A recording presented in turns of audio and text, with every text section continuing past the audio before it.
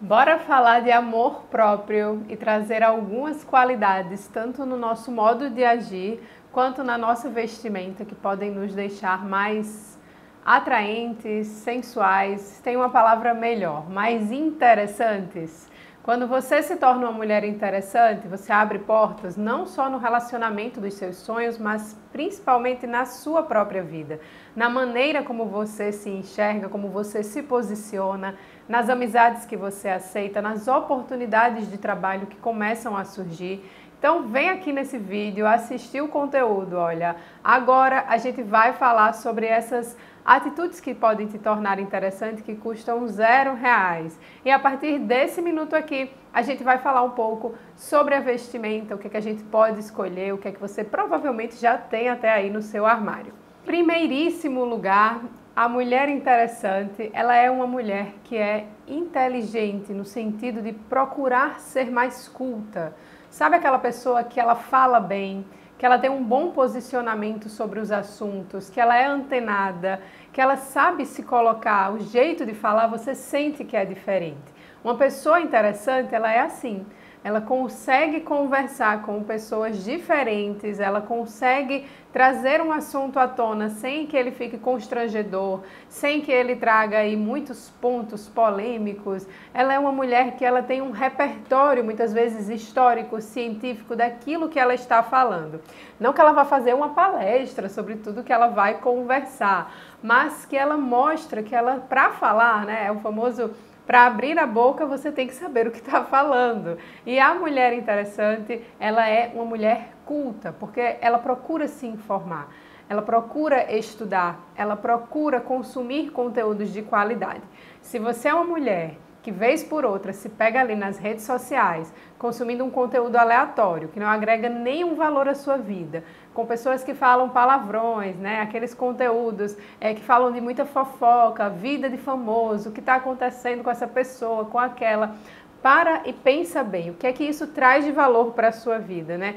Que tipo de pessoas você vai atrair com esse conteúdo. Então, para se tornar uma mulher interessante, você precisa começar a gastar o seu tempo com coisas que realmente são valiosas. Então, invista em estudar, em ler uma revista que seja interessante, em ver novidades, o que está acontecendo no mundo, nessa perspectiva científica, cultural, histórica. É interessante a gente conhecer duas versões de um mesmo assunto para a gente ter esse repertório e ser uma mulher mais culta. Em segundo lugar, se a gente falou aqui, né, de ter esse conteúdo, a gente pode também falar da mulher que ela é antenada. Essa é uma qualidade da mulher interessante, porque a idade ela pode chegar, passar, a gente vai envelhecendo, mas sabe, não se deixa parar no tempo.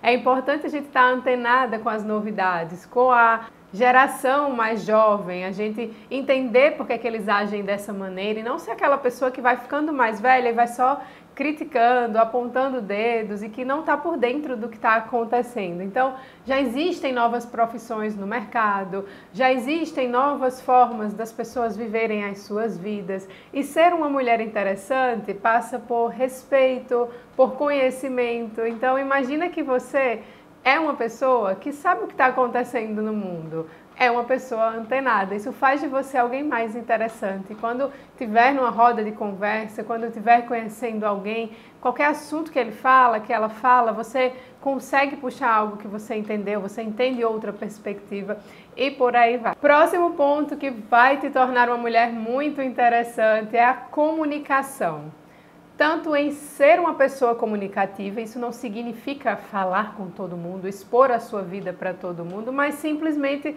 saber se posicionar, saber falar, não ser aquela pessoa que chega numa, num lugar, numa ocasião e não consegue conversar com absolutamente ninguém. Essa pessoa, ela não é interessante, sabe? Imagina que você chega numa festa ou no encontro, no trabalho e tem aquela pessoa que não consegue se comunicar com absolutamente ninguém. O que é que você vai pensar?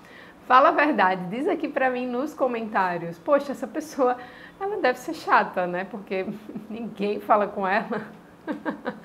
claro que aquele pode não ser um ambiente que ela está acostumada a frequentar, ela pode não conhecer aquelas pessoas, mas se é um lugar que você já frequenta sempre, ser comunicativo te faz uma pessoa mais interessante. E aí, repito, não é que você precisa falar o tempo todo, falar com todo mundo, mas saber se posicionar é muito bom e muito importante. Autenticidade é a nossa próxima dica. Não adianta tentar copiar os outros. Então, você quer saber o seu estilo e começa a ver várias e várias inspirações. Achei o estilo daquela pessoa muito bonito, vou copiar. Vou pegar o look igual e vou falar, quero ficar igual a ela porque eu achei o look belíssimo. As chances de você fazer isso e se sentir péssima naquela roupa são altíssimas. E sabe por quê? Porque a estrutura corporal da gente provavelmente é muito diferente de uma, umas das outras. Então, nós temos ângulos mais retos ou ângulos mais curvados, nós temos ossos né, mais evidentes ou menos evidentes, mulheres que têm a gordura, a carne mais macia, outras mais rígidas, né, mais musculosas, desenvolvem músculos com facilidade. Nós temos mulheres que aparentam ser mais longas, mulheres que aparentam ser mais baixinhas. Tudo isso você pode achar que não, mas são formatos de corpo que a gente precisa vestir roupas que traduzam aí o que você já tem na sua estrutura corporal.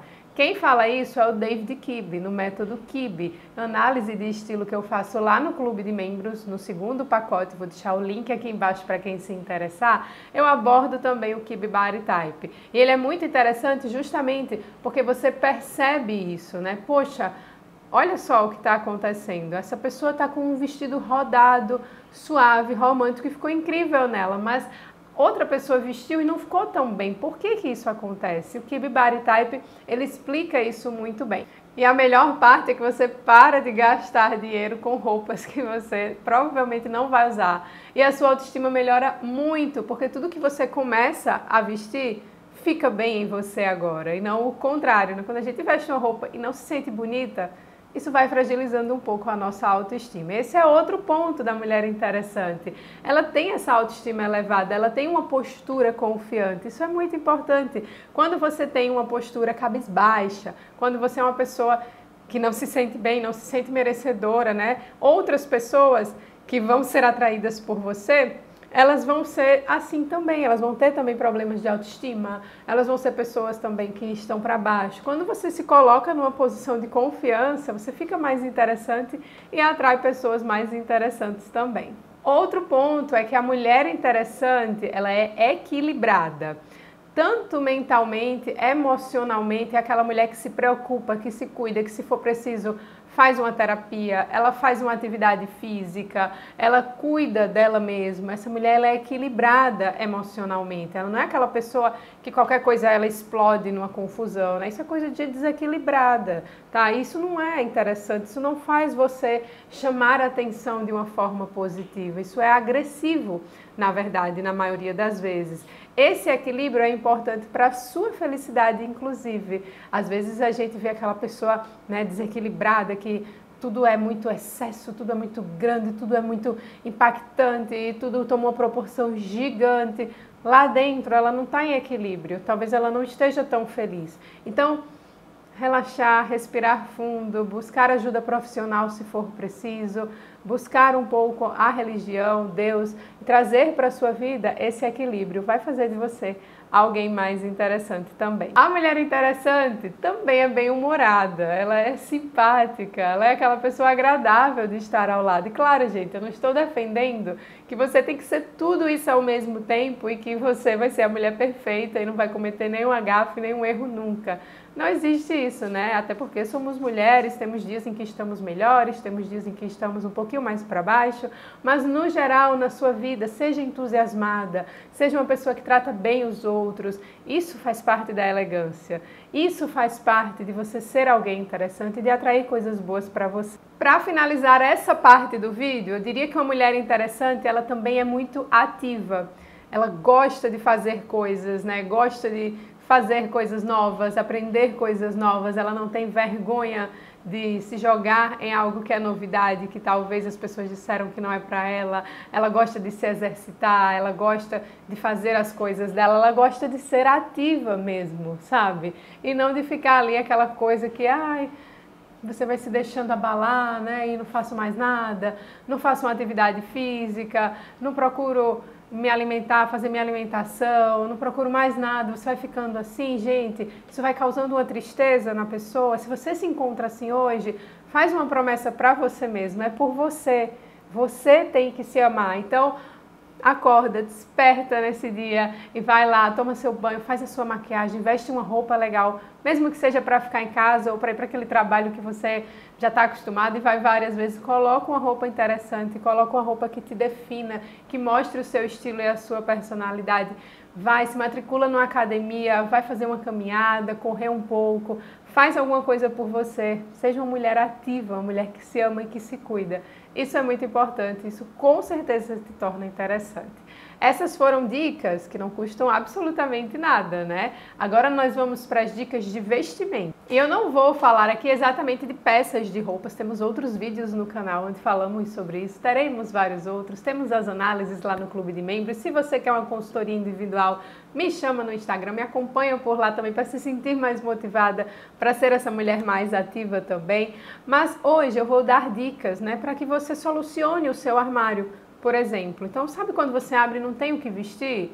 As dicas de agora, elas vão funcionar para isso não acontecer mais. Então, em primeiríssimo lugar, pense um pouco nas coisas que você gosta, sabe? Na sua essência, no seu estilo pessoal, não só de vestir, mas do que você gosta de fazer. Você gosta de algum esporte específico? Como que ele é? Ele traz um pouco mais de arte ou ele traz um pouco é, de uma coisa que é menos delicada, né? É um balé ou é um judô? Você gosta de esportes coletivos, como vôlei, ou de esportes individuais, como natação? Pode ser tanto para prática quanto para assistir competições. Imagina do que é que você gosta. Vai entendendo né, o que é está por trás aí dessa sua personalidade. Isso é tão interessante da gente descobrir. Vê o que, é que você gosta de conversar, os assuntos que mais te agradam, os lugares que você gosta de frequentar, como que eles são, né? Como que são, como que é a decoração desse ambiente, como que são as pessoas que frequentam o lugar. Isso vai definindo muito quem você é, a profissão que você escolheu com o que, que você trabalha hoje, como que as pessoas te definem. Pergunta isso para elas. Pergunta para uma amiga próxima. O que, que você acha de mim? Qual a imagem que você tem de mim? Qual é a palavra que você lembra quando pensa em mim? E a partir daí, vai anotando tudo isso e você vai ter uma reflexão importantíssima sobre quem você é. A partir daí, você consegue direcionar. Poxa, então eu sou uma pessoa mais para o lado da arte, da delicadeza. Será que eu não vou gostar de vestidos florais, de vestidos mais suaves, mais fluidos, ou não, eu sou uma pessoa que sou mais ativa, mais acelerada, será que eu não vou gostar de uma calça cargo, uma calça wide, uma calça jeans? Então vai imaginando isso e pensando, né? Essas qualidades e características combinam com quais tipos de roupa? Isso vai direcionar muito o seu guarda-roupa e você vai conseguir entender um pouquinho do seu estilo e comprar as peças que representam ele, não peças aleatórias que você viu que estava na moda ou que combinou com outra pessoa e você achou bonito nela. Segunda dica é que evite tendências de moda. Eu comentei em outro vídeo por aqui, mas é interessante reforçar. Sempre quando a gente vê uma nova tendência de moda, a gente tende a gostar dela, porque tudo aquilo que é muito usado, né? É importante entender isso. A moda é tudo aquilo que é muito usado, tudo aquilo que está bombando mesmo, né? Muita gente diz assim: a moda é o que eu quero. Não, o seu estilo é o que você quer. A moda, ela é o que é mais usado, o que é mais reproduzido, que é tendência mesmo. E se você observar bem, sempre que uma tendência é lançada, você vai achar ela mais bonita do que a da semana anterior. Então, cuidado, antes de comprar uma peça que seja tendência de moda, observe se realmente faz sentido para você. Pergunte se você vai usar essa peça nos próximos cinco anos. Se você tem pelo menos cinco ou dez peças de roupas que combinam com ela e dê preferência a escolher para tendências calçados, bolsas, óculos, brincos, acessórios, porque aí sim você consegue investir em peças de mais qualidade no seu guarda-roupa e investe de forma mais acessível e barata nesses, nesses outros itens que eu comentei. Terceira dica, evita peças muito, muito estampadas. A não ser, claro, que faça parte de um estilo muito criativo que você tenha, você mora numa região muito quente, gosta, se identifica com estampas, tudo bem tá? Isso a gente analisa aí de forma muito particular numa consultoria. Mas, de forma geral, investir em peças que sejam mais neutras facilita você ter o que vestir nas ocasiões, né? Até nas ocasiões mais especiais. Então, imagina que você vai para algum lugar que você é chamado agora que não sabe o que vestir. Você vai pensar em colocar algo muito vibrante, a não ser que, repito, seja o seu estilo. Mas normalmente não. Então, para você ser uma pessoa interessante, você tem que conhecer o seu estilo, você tem que ter peças que funcionam o tempo todo para que você esteja bem vestida na maioria das ocasiões. E é por isso que essas dicas estão sendo dadas aqui, para que nas suas próximas compras você pense um pouco mais sobre isso. E aí, se você tiver um guarda-roupa todo de estampa que não combina entre si, talvez você chame muito mais atenção pela roupa do que por você. E a roupa, ela tem que fazer parte de você para você ser alguém interessante. Esteja atenta também às modelagens. Essa é a quarta dica. Veja o que é que cai bem no seu corpo. Gente, dica maravilhosa é que você tire fotos. O espelho, ele engana um bocado. Então, tira foto do seu look. Sempre que for sair, coloca o celular ali, tira uma selfie e dá uma olhadinha depois com calma. Poxa, eu fiquei aqui com minha barriga parece que está maior, minha cintura parece que está menor, ou não, nossa, eu fiquei muito bonita aqui, essa calça vestiu muito bem, a gente só percebe essas coisas em fotografias. Então faça fotos dos seus looks e analise as modelagens que caem melhor no seu corpo. A mulher interessante, ela consegue vestir roupas que realmente ficam bem nela, às vezes roupas que só ficam bem nela, é incrível. Então sabe quando você, nossa, essa pessoa está usando essa roupa, eu imaginei que essa roupa não ficava bem em ninguém, então ela se torna alguém interessante porque ela descobriu exatamente o que fica bem nela. Por último, tente coordenar as cores dos seus looks. Uma mulher interessante, ela coloca cores que seguem um padrão, tá? No look dela. Cores que eles têm um fundo próximo. Então ela não coloca uma cor muito vibrante com uma cor mais sóbria, só se for uma estratégia de imagem muito bem posicionada. Então, para um pouquinho, Pensa nas cores que você vai escolher para o seu look, se elas fazem sentido para a imagem que você deseja passar. Tudo isso é bem importante de analisar e faz o seu look ficar interessante. Com isso, se você tem look interessante, atitude interessante, você é uma mulher interessante, que chama a atenção por fora, né, por saber se cuidar, por saber gostar, ter esse capricho nos detalhes dos looks e principalmente por dentro, pela forma de falar, de tratar os outros e por aí vai. Vou deixar aqui um conteúdo sobre cores bem interessante para que você continue aqui assistindo, enriquecendo mais ainda o seu repertório sobre roupas, sobre como ser a mulher que você deseja ser. Nisso que eu quero ajudar aqui. Um beijo e até o próximo vídeo.